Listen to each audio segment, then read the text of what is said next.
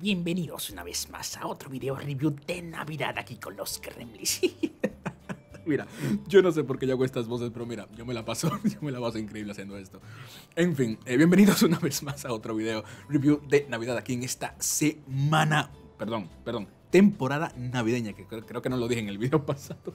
En fin, la cosa es que hoy tenemos una película de Navidad eh, de terror, sí, Los Gremlins. Eh, un aplauso por favor para para todos ellos, porque realmente eh, creo que de las, es de las peores películas que he visto.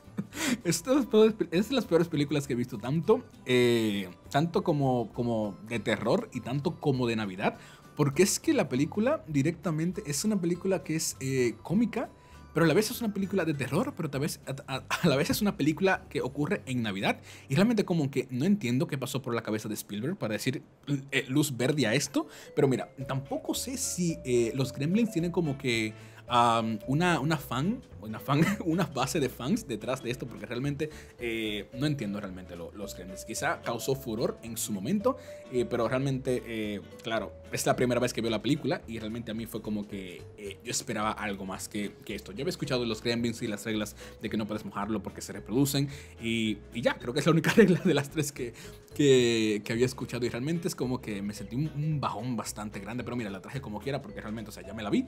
Además, es de Navidad, así que bueno, una película mala no hace daño al alma. Así que bueno, vamos a hablar un poquito de, los Gremlins. Los Gremlins comienzan eh, con una parodia de Indiana Jones, sí.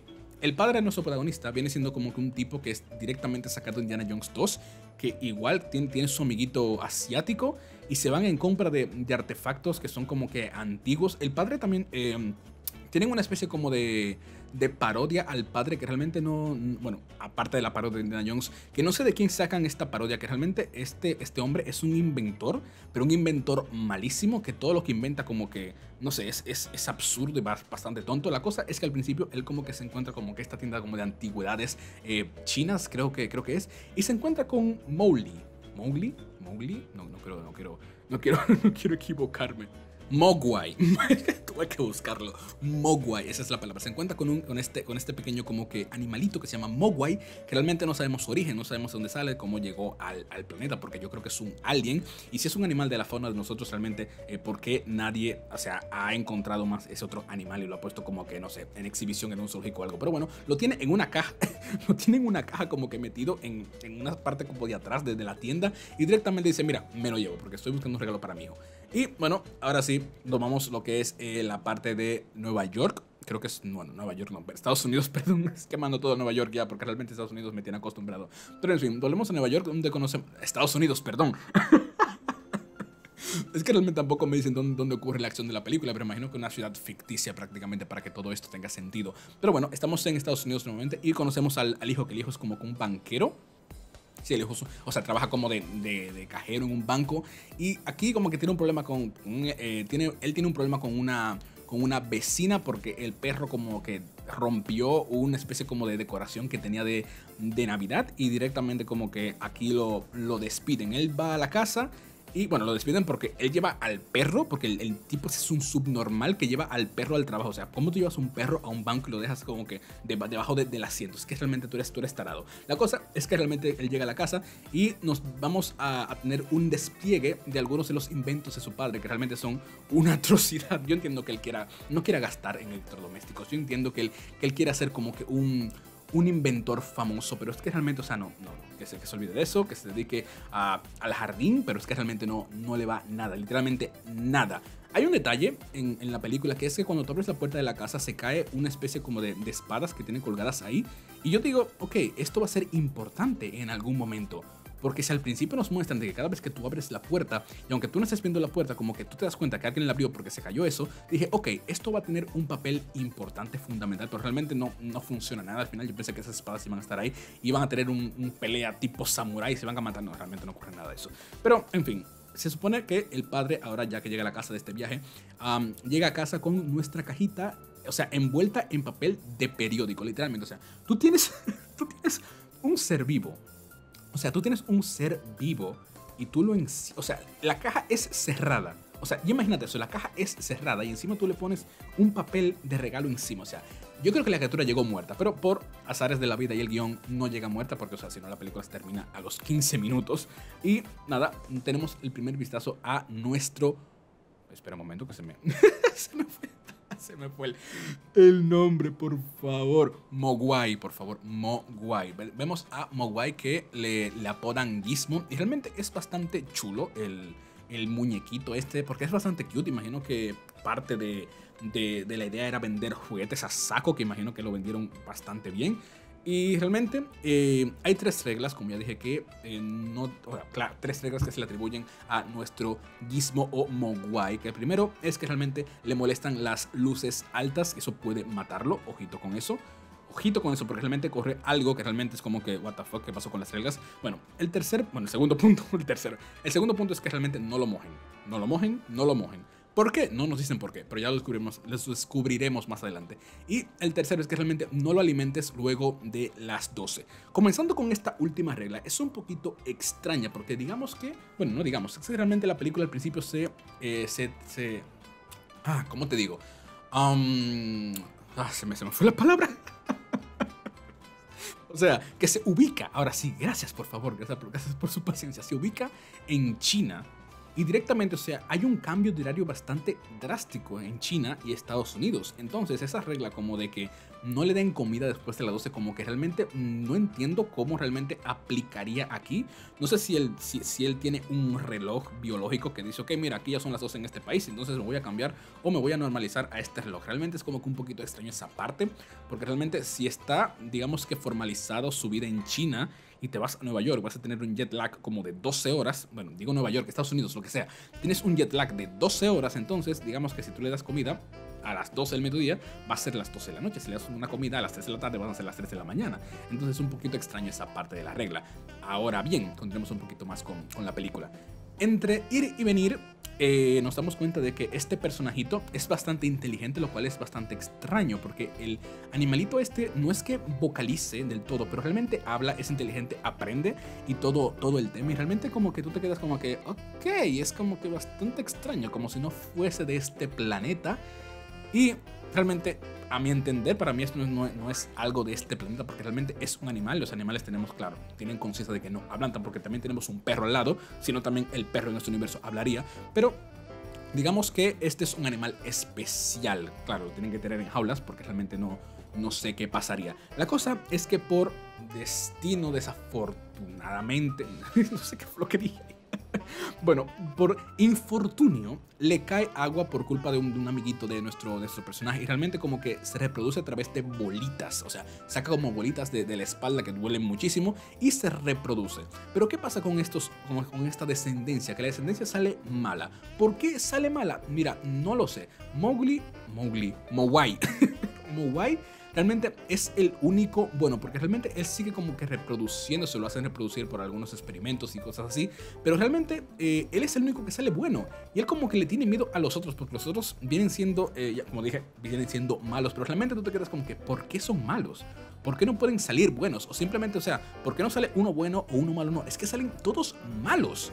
Y realmente tú te quedas como que, bueno, ¿qué te digo? Hacen un experimento con él eh, en el cual eh, le cae agua. No, perdón, hay uno que come después de las 12 de la noche y realmente eh, ellos como que evolucionan como que en estos verdes, criaturas verdes que parecen más como duendes y realmente todo sale de control porque,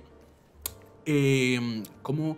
¿Cómo te digo? Nuestro amiguito personaje también le, da, le está de comer porque aparentemente su reloj estaba como que decía que no eran como que las 12, realmente como que él está de comer, pero realmente es lo que estaba dañado. Y realmente como que entran como una especie como de, de capullo y cuando salen son unos verdecitos, como ya dije, como que eh, digamos que son como que el triple de malvados inteligentes que realmente saben hacer de todo, saben cocinar, planchar, fregar, eh, saben usar bates de béisbol, saben eh, ir al cine, poner una película, un rollo de celuloide y ponerse a verse películas, se ponen ropa y realmente como que tienen conciencia para decir como que, ok, voy a poner una trampa aquí para que tú puedas verme y saben cómo funciona la tecnología porque pueden coger una cámara y conectarla a múltiples pantallas y como que él, como que o sea, tú pones la cara aquí tú vas, y, él va a saber como que se proyecta en otros sitios. Realmente, mira, el guion de esta película es para, es para desconectar un poquito el cerebro porque sí, realmente es como que muy, muy what the fuck que pasan las cosas. Y realmente no voy a abundar mucho en esto, porque realmente es una película que me decepcionó, aunque lleve más de 10 minutos ya hablando. Pero la cosa es que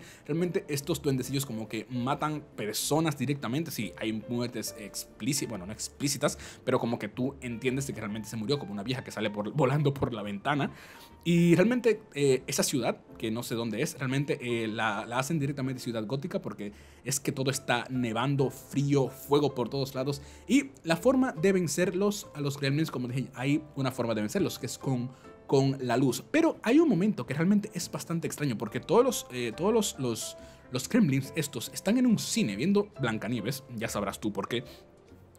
Y incendian el, el, bueno, lo hacen estallar, estallar, estallar, lo hacen estallar directamente, o sea, el cine completo, pero hay uno que queda, pero eso vamos a ver un poquito más adelante, sino que hace estallar todo el cine y el reflejo de la luz es tan fuerte que todo el mundo tiene que cubrirse, pero nuestro pequeño gremlin, bueno, está ahí y él recibe toda esa luz y no se muere, y tú te quedas como que, pero realmente no le hacen daños las, las luces fuertes lo cual es bastante extraño porque realmente hay una lamparita en la habitación de nuestro protagonista que le da un poquito y está como que, ay, ay, me duele, ay, no, la luz, ay, ay. Es como que, eh, como que no tiene mucho sentido. La cosa es que nuestro último Gremlin tiene un 1 versus 1 y bueno, termina muriendo porque realmente le da la luz y como que se derrite prácticamente y es como que, bueno, hasta aquí quedó como que la, la película, lo cual es como que bastante extraño. Claro, tenemos la participación de, de Mowai, Mowai, bueno, el Gremlin bueno, porque ya no voy a buscar el nombre otra vez, tenemos la participación del Gremlin bueno, eh, como que intentando como que, es lo que te digo, o sea, ellos no es que tienen una pelea, pero realmente como que la parte final es básicamente más como de, de suerte, porque básicamente como que él llega en un carrito control remoto y como que se estrella en una pared que para mí, o sea, si no se murió, no se murió porque obre gracias al guion, y directamente ve como que una palanca detrás de él y él como que la ala y prácticamente como que sale luz del sol porque, bueno, era de noche y ya amaneció y le da la luz del sol directamente a él y él se derrite y es como que, ah, ya, ya le ganamos. Así de rápido, es como que, bueno. Porque antes tenemos una pelea entre, entre, nuestro protagonista, que es el hijo del, del padre de Indiana Jones. tenemos ahí el, el, el, joven este, que tienen una pelea que realmente, o sea, el gremlin es una cosita como del tamaño de tu brazo, prácticamente, como de tu muñeca al codo. Y realmente le rompe la madre al muchacho directamente. Es como si fuese Chucky. Pero yo, yo puedo entender más a Chucky porque Chucky es, es como que un, muñeco. Pero esto es como que una especie como de, de saltamontes, una cosa rara. Que realmente yo creo que tú le pisas el cuello y le pisas la cabeza y ya lo matas. Pero realmente yo no, no entiendo, realmente no sé si, si, las personas de antes eran un poquito más estúpidas o cómo va esto, pero es que realmente les rompe la madre directamente, que hasta lo hace sangrar de la, de la frente. Te quedas como que, pero ¿cómo? ¿Cómo? Yo sé que le estoy metiendo mucha caña a, esta, a, esta, a, esta, este review con esta película, pero es que realmente, o sea, para mí de las peores que he visto en, el año y realmente de las peores de terror, Navidad, lo que sea que te he visto en el año. Y realmente la película termina con nuestro protagonista, bueno, el anciano ese de China que voló a Estados Unidos para recuperar a su extraterrestre y se lo lleva. Y realmente hay una, una frase, bueno, un diálogo final que dice como que Um, en la película hay un personaje que hace referencia como que, bueno, te da el nombre de Gremlins, que Gremlins, Gremlins viene siendo como que eventos eh, aleatorios como que ocurren y tú no sabes qué es prácticamente. Y realmente los gremlins son eso, porque realmente todo lo que causan, nadie cree que son, que son como que duendecillos verdes. Simplemente como que ocurren cosas malas, pero nadie sabe lo que es. Y al final de la película como que hay un diálogo que dice como que eh, si algo pasa y tú no sabes lo que es, o, o te esconden algo, o algo se halla de la nada, eh, tienes que ver debajo de tu cama porque realmente hay un gremlin ahí. Y yo me quedé como que, o sea, no sé si alguien en no me recuerdo el año en que salió. No, no sé si alguien en ese momento, cuando salió esa película, como que quedó traumado por esto, pero es que realmente no, no sé, como digo, o sea, no sé si la película tiene una base de fans, que es como que los gremlins los adoro, son tan, tan wow. También la, la serie tiene muchas secuelas que tampoco he visto y creo que tampoco voy a ver porque realmente la primera no me convenció, pero también es como que no sé si, si las personas se, se emocionaron o se asustaron por esto, porque si les hicieron fue como que, bueno, la gente era un poquito más inocente en otros tiempos. Así que realmente, nada, eh, voy a dar una calificación de un 3 de 10, sí, así te lo pongo prácticamente, 3 de 10, porque realmente a mí no, no me gustó la, la, película. Así que nada, dejo el review hasta aquí, pégale un like si realmente te, te gustó. Escríbeme en los comentarios aquí si tú eres uno de los fans de los Gremlins. que quiero, quiero conocerlos a ustedes, fans de los Gremlins, por favor. Manifiéstense en los comentarios. Así que nada, like, comparte, comenta, suscríbete. Te recuerdo que mi novela El mito del elegido está disponible en múltiples plataformas digitales. Un enlace único aquí en la descripción del video, al igual que en mis redes sociales. ¿Y cuál es la moraleja de esta película? Bueno, la moraleja es bastante, bastante simple, que realmente se puede atribuir a cada persona de, este planeta. La primera es que no, comas después de la medianoche porque realmente te vas a poner como un capullo, pues se vas a engordar directamente. Eh, creo que el segundo es que creo que no estoy de acuerdo con las otras dos porque es como que la otra es como que no te eches aguas, directamente te dice como que no te bañes, así que al contrario, bañate, por favor, que hasta aquí te llega eh, el, la peste. Y la primera es que realmente eh, la parte de la luz eh, sí toma sol, porque realmente, o sea, estar metido en tu habitación todo el día eh, no te causa nada mal y realmente hay que tomar sol, vitamina D, por favor. Vamos, vamos, afuera, ya. Y, si está de noche, mañana, vamos. Pero no dejéis hacerlo. Nos vemos, nos vemos en un próximo video. Mira, ya no sé qué decir. Ay, ay, estoy loco.